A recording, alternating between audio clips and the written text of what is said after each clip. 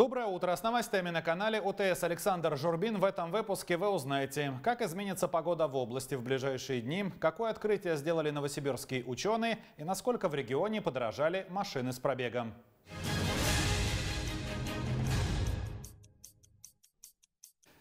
Новосибирцев приглашают принять участие в общественном обсуждении проекта «Чатское городище». Композицию планируют разместить на территории сада имени Кирова в Октябрьском районе города. Если принципиальных проблем не возникнет, то уже к лету там появится несколько стендов, рассказывающих о чатских татарах и стилизованное жилище средневековых людей. Ознакомиться с проектом можно на официальном сайте города Новосибирска. Предложения, рекомендации и замечания принимают до 28 января по электронному адресу, который вы сейчас видите на экранах. После общественного обсуждения решения о создании нового парка должен одобрить художественный совет муниципалитета. Добавлю, что полмиллиона рублей на возведение экопарка выделило в прошлом году правительство Татарстана. Завтрашнего дня холода в Новосибирске начнут отступать. Тем не менее, Роспотребнадзор дал рекомендации по профилактике обморожений. По словам специалистов, наибольшему риску холодовой травмы подвергаются дети, у которых в силу возраста не до конца сформировалась система терморегуляции, а также пожилые люди. К первым признакам обморожения относятся онемение, чувство покалывания и покраснения пораженного участка. В более серьезных случаях, когда кожа белеет, твердеет и покрывается волдырями, необходимо незамедлительно обратиться за медицинской медицинской помощью. Ведомстве не рекомендуют использовать для согревания электрические грелки, отопительные приборы и открытый огонь. Повысить температуру тела поможет сладкое теплое, но не горячее питье. При этом давать пострадавшему алкоголь не рекомендуется. Новосибирские ученые получили премию областного правительства. Студенты из Аграрного университета разработали биологические препараты, которые способны уничтожать насекомых, не принося вреда овощам и злакам. Какую еще пользу принесет открытие, узнали мои коллеги. Чтобы бабочки не покинули инсектарий, нам приходится их собирать вот таким ручным пылесосом, чтобы они не разлетались у нас из лаборатории. Пчелиная огневка – это вредитель, который живет на пасеках. Раньше на их личинках настаивали спирт. Считалось, что они содержат прополис, и настойка поможет, например, при туберкулезе. Однако гусеницы повреждают воск и губительны для пчелиного потомства. Лаборатория биологической защиты растений изучает иммунитет восковой моли. Так еще называют вредоносную бабочку. Самые слабые, самые чувствительные погибают. Самые сильные выживают. Выживших мы собираем и получаем следующее поколение от них. Следующее поколение мы снова заражаем, только уже более высоким, высокой концентрацией. И снова самые слабые погибают, самых сильных мы собираем. И такая селекция была проведена на, в течение 20-30 поколений. И у таким образом отобранных насекомых мы смотрели, чем же, собственно говоря, за счет каких реакций они такие сильные. Если знаешь, в чем сила вредителя, можно разрабатывать биологические составы, которые подавят иммунитет и уничтожат популяцию. Химия впитается в растения, а вот бактерии повредят только насекомым. В этой лаборатории проводят постоянный искусственный отбор. Есть несколько методов заражения личинок. Вот самый простой. Берем гусеницу и насаживаем ее на шприц. Опыт здесь в буквальном смысле слова дело наживное. Справится любой рыбак, все равно, что червяка на крючок. А на кончике шприца есть те самые бактерии, которые личинка пожирает. Впрочем, иногда бывает наоборот. Выводят устойчивых к болезням насекомых, а уже они уничтожают вредителей, не тронув растения. Из полезных насекомых у нас вот соседняя лаборатория занимается разведением хищного клеща фитоселиуса, который используется для борьбы с паутиным клещом непосредственно в теплицах. Это вот тоже один из методов. Мы используем инфекции, они используют непосредственно живых агентов, которых разводят и выпускают потом в природу, чтобы они питались вредителями. Многие препараты, которые разработали в аграрном университете, уже сейчас можно применять на пасеках, картофельных полях или теплицах. Но производство в промышленных масштабах – дорогое удовольствие. Только патент стоит миллион рублей. Нужны инвестиции. В конечном итоге исследования должны окупиться. Спрос на экологически чистые продукты растет, а биологические препараты никак не влияют на мед или огурцы. Сергей Толмачев, Алексей Зубила. Новости УТС. В Новосибирске подорожали легковые машины с пробегом. За прошлый год автомобили выросли в цене более чем на 6%. Причем средний возраст иномарок сейчас составляет около 14 лет. К такому выводу пришли аналитики портала авто.ру. Самой популярной у новосибирцев маркой стала Toyota. Японская машина занимает пятую часть от всех предложений по продаже. На втором месте Lada, на третьем Nissan. Эксперты также посчитали, что в Новосибирске больше всего седанов. Далее идут кроссоверы и хэтчбеки. Наименее популярны фургоны и кабриолеты. И к этой минуте у меня все новости. Подписывайтесь на наш канал и смотрите сюжеты в социальной сети Инстаграм УТС Нижнее подчеркивание ТВ. Для вас работал Александр Журбин. Всем удачи и до встречи. Смотрите эфир и архив записи телеканала ОТС в сервисе Пирс ТВ.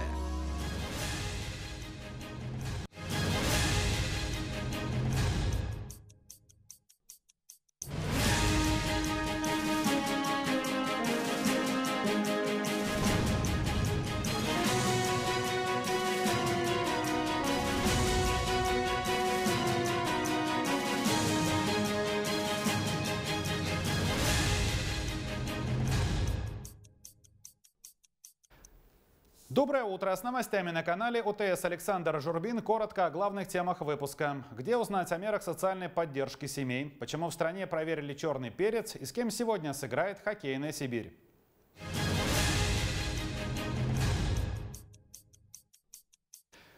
Жители Новосибирской области могут узнать о мерах социальной поддержки семей при рождении детей. Для этого сегодня Министерство труда и социального развития региона проведет телефонную горячую линию. Звонки будут принимать с 9 утра до 6 часов вечера. Специалисты ведомства ответят на вопросы о ежемесячных выплатах семьям, имеющим детей, расскажут о сроках предоставления пособий, размерах и условиях получения. Черный перец попал под подозрение. Специалисты Роскачества протестировали популярную пряность 30 торговых марок и обнаружили фальсификат, низкое качество сырья и нарушения по микробиологическим показателям. Отмечу, проверку инициировали после многочисленных просьб жителей российских регионов проверить рынок специй. И опасения оказались оправданными. Ни один товар в ценовой категории до 550 рублей за 100 граммов на знак качества претендовать не может. Причина наличия в рассыпчатом черном перце бактерий, в том числе кишечные палочки и плесени. А все потому, что хранение сырья не соответствует нормативным требованиям, нарушен режим температуры и влажности, что не только ведет к распространению грибка, но и снижает само качество продукта. А вот потребительский миф о том, что производители усиливают запах приправы посредством глутаминовой кислоты, эксперты развеяли. Сама, сами гранулы перца содержат глутамат. Это заложено природой и, кстати, только добавляет ему пользы. В Новосибирске показали одну из постановок международного фестиваля во Франции. Оперу на музыку Стравинского транслировали на большом экране. Посмотреть на спектакль «Соловей» и другие сказки собрались ценители жанра. На представлении побывал наш корреспондент Алексей Кудинов. Камерный зал филармонии получил право называться виртуальным концертом полтора месяца назад – в доме Ленина смонтировали новое оборудование, в первую очередь огромный экран, на котором можно показывать видео высокой четкости. В рамках нацпроекта «Культура» в стране будут открыты несколько сотен подобных залов. И главная задача – донести до россиян искусство высокой пробы. В Новосибирске первую виртуальную площадку открыли 1 декабря, а теперь зал входит в рабочий ритм. Мы надеемся на большой интерес несмотря на то, что вопрос виртуального зала, он сейчас в России очень такой открытый, несмотря на то, что это национальный проект, но тем не менее, а, а, я так думаю, что наблюдают, как он, как идет работа с этим проектом со всех сторон. Вот. Есть, конечно, а, один основной контент, который для виртуальных концертных залов именно филармонии создан. Московской филармонии это огромная база. Это тоже эксклюзивные показы, и Новосибирск увидит их. Вторая в истории нашего виртуального зала трансляция познакомила зрителей с крупнейшим французским музыкальным фестивалем в Эксан-Провансе. Он проводится летом и собирает любителей оперы со всего мира.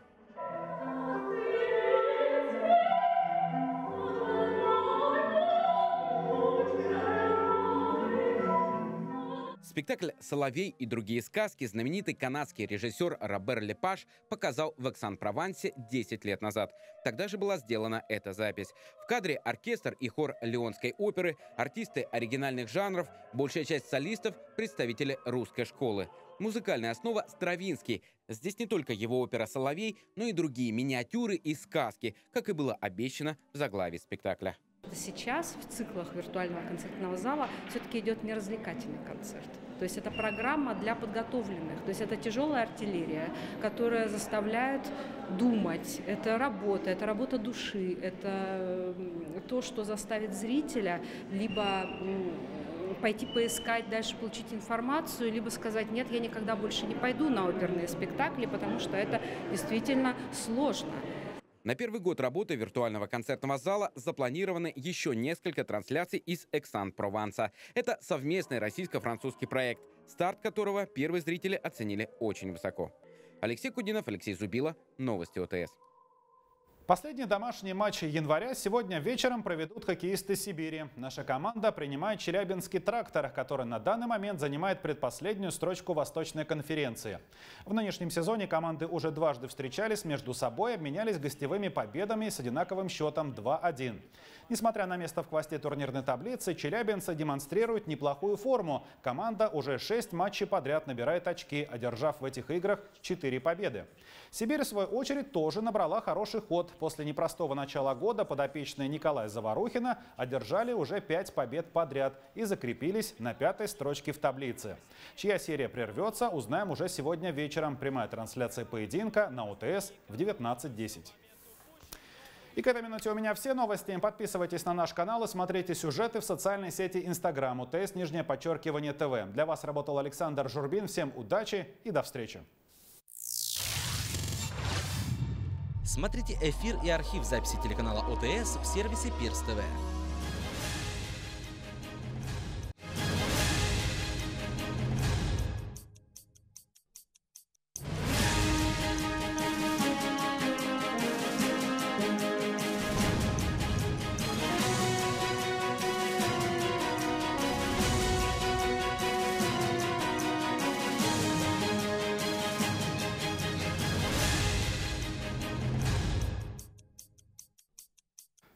Доброе утро! С новостями на канале ОТС Александр Журбин. В этом выпуске вы узнаете, сколько умных остановок появится в Новосибирске, почему жители Каменки каждый день рискуют жизнью и какое крупное спортивное событие произойдет в Новосибирске.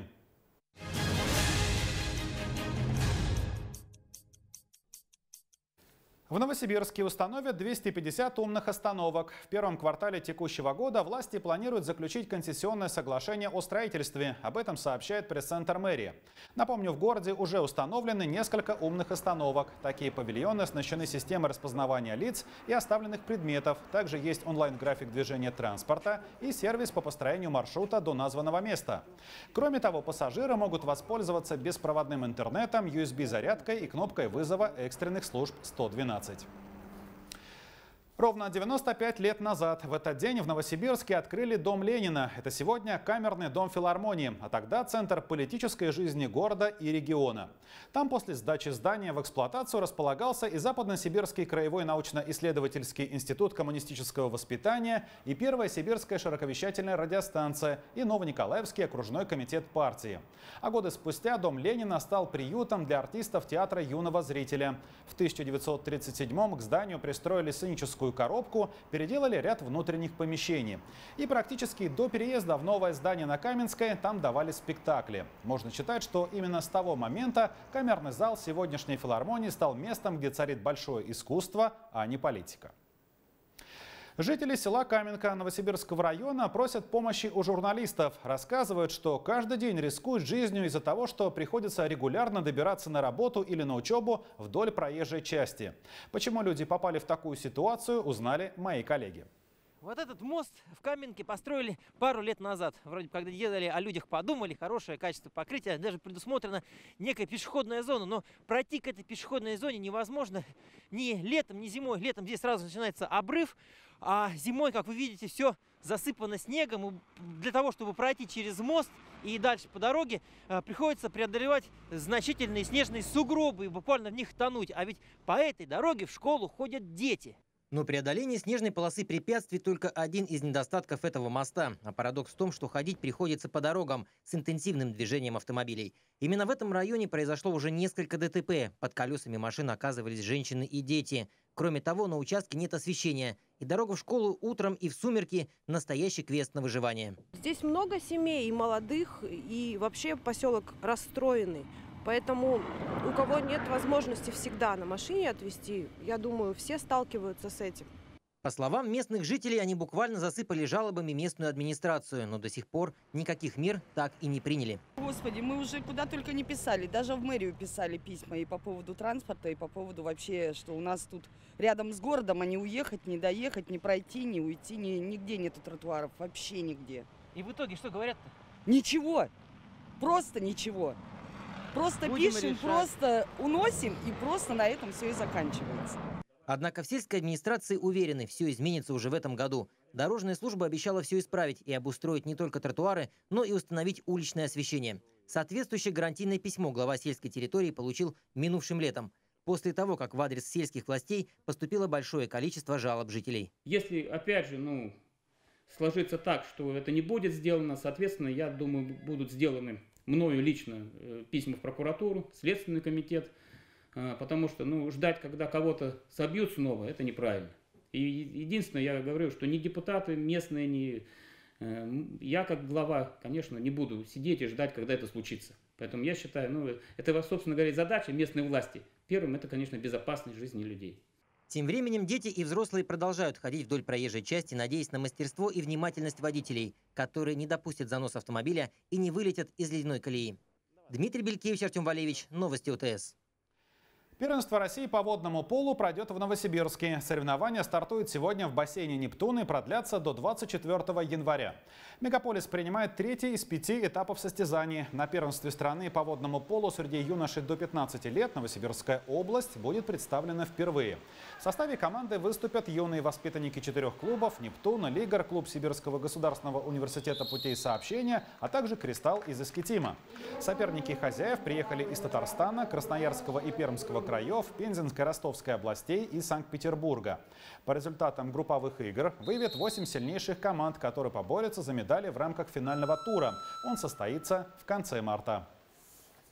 И к этой минуте у меня все новости. Подписывайтесь на наш канал и смотрите сюжеты в социальной сети Инстаграм УТС Нижнее подчеркивание ТВ. Для вас работал Александр Журбин. Всем удачи и до встречи.